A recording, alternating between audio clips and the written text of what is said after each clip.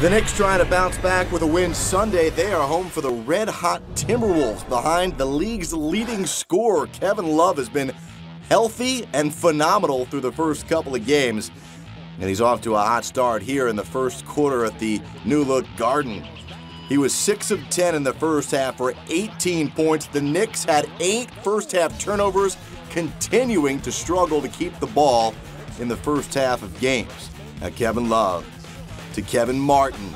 And Martin getting above the rim. He had 13 points in the half. Now Ricky Rubio.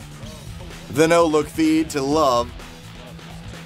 He finished the game with 34 points and 15 rebounds. Minnesota led New York 64 to 49 at the half. Third quarter, more Timberwolves, and it's Kevin Martin, 13 of his 30 coming in the third.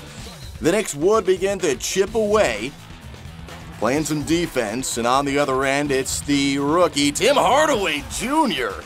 Explosive dunk. But Hardaway struggled from the field, just 3 of 12 for 6 points. Carmelo Anthony, methodical. And Anthony buries the jumper. He had 22 points and 17 rebounds.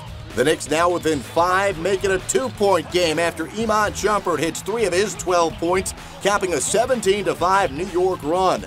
Back on the other end, 104-98, Minnesota with the lead and the ball.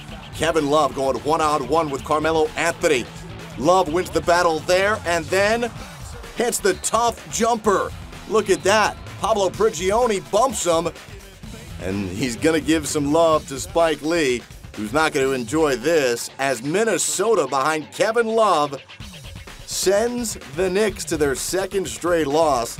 For the first time in 12 years, Minnesota is 3 0. The Knicks are 1 2.